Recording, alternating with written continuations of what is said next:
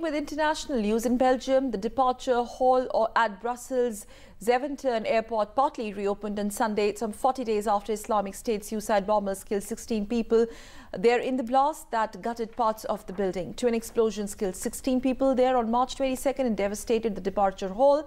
From today, passengers will check in for flights at 111 desks in the departure hall and 36 others in temporary buildings. Travelers have been asked to arrive three hours before their flights to allow time for extra police security checks at the entrance to the departure hall.